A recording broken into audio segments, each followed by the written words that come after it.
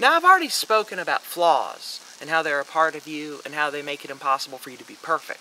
But they're more than just imperfections. They're a part of who you are, and a very important one at that.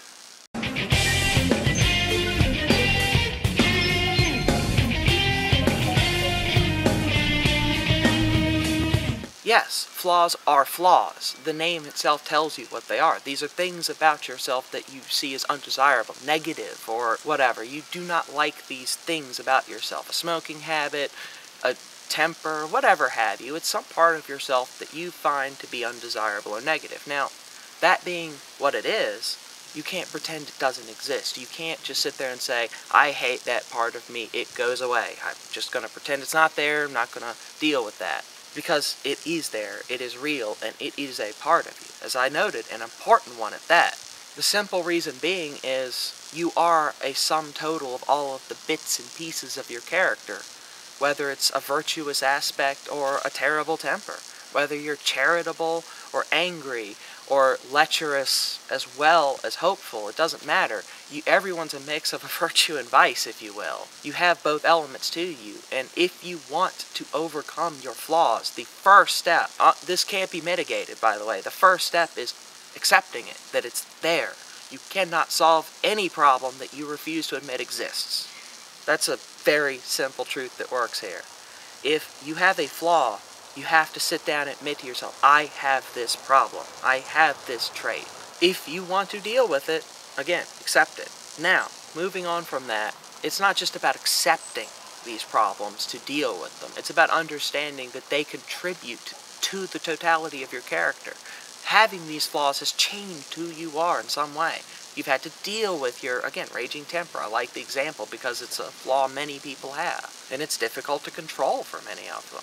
A lot of people I know with temper issues, whether drunk, sober, whatever, they wish they didn't have it. They wish that when they weren't so pissed off, you know, that they didn't get so pissed off. But dealing with that has changed each of them, has changed them into perhaps a stronger person because they've had to deal with a temptation that others don't. Many people have their anger in check, for the most part at least. and they can deal with that. But others, like people with temper issues, have had to strain against a temptation that is negative and it's made them stronger. They have more willpower for the most part. Unless they give into it, that's a different problem. If they're not giving into it, they're learning how to deal with it. They've accepted it. They understand that it is a problem. And by learning to accept it and deal with it, they've become stronger people on the whole. They have become more complete, if you will. It's pushed them to become better people because they have to deal with it. And your flaws have done the same for you, whether you can admit to it or not. You've had to deal with those things being there. You're pyromaniac and you're not setting fires, well, you're showing restraint, control, temperance. These things, they're important for all aspects of life, and wherever you learn them from, well, they're lessons learned, right? They're still important. And if you can learn from your own flaws and grow because you have them, like any obstacle, you can learn from it, become stronger by overcoming it. By jumping the hurdle repeatedly, you become better at jumping. By overcoming your personal demons, you become better at dealing with the world. The logic follows. For a good example of what I'm talking about, relationships. People have flaws in them. No one's perfect. And whoever you hook up with, eventually you're going to discover things about them that you consider flaws, or they consider flaws, and you have to deal with. The simple truth is, again, there's no one perfect, as I've iterated before. The flaws that they have must be acceptable to you. You must be able to love them for their flaws as well as the merits of who they are. Their flaws are a part of them. They're not just going to vanish. You can't change them on a core level unless they want to be changed. And even then, some people can't change core aspects of themselves. It's who they are. And you're going to have to learn to live with that and furthermore, love it. You're going to have to take their flaws as well as the things you love about them naturally and love the whole package. People are inseparable from their flaws.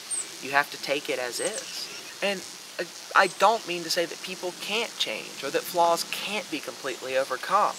I've even made a video talking about how you can grow. You change, you evolve, and become more. All of this is true. But we also must accept about ourselves that there are things that we can't change or don't want to change for whatever reason that are negative. Maybe there is a core temptation to your being to do something, and no matter what you've done, you can't change it. You can only fight it, control it. Well, this is letting you know that that isn't a failure on your part. That isn't something you should be ashamed of. You're fighting it, aren't you? You're controlling it. You're becoming better because of that. You're stronger. That's nothing to be ashamed of. In a way, you're growing because you can't change a core aspect of yourself, and thus you're changing anyway. It Doesn't matter how the change expresses itself, whether it's because you change a flaw or you change in response to a flaw. You're still changing. You're still evolving. Whether you learn how to deal with other people's flaws or your own, they, they work together too. That relationship point works with your points too. You can learn to accept yourself more by learning to accept someone else, and vice versa. It becomes experience for dealing with other people and yourself, either way. It's a skill that's uniquely applicable to being in human civilization because we're all flawed beings. We're all human. Learning how to deal with yourself means you learn how to deal with humanity. Just something to think about.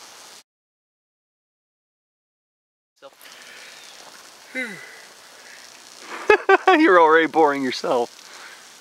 Okay. No, I'm just actually feeling coffee plus tired.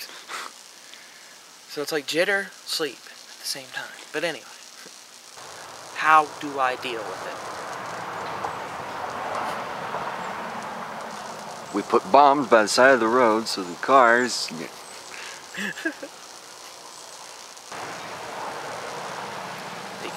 start throwing cars. But